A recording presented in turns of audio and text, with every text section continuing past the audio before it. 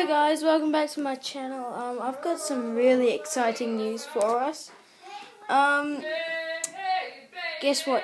I'm getting a PlayStation 3 for my birthday, which is coming pretty close, September 20th. Um, and I'm getting NBA 2K17. Um, yeah. Uh, hmm.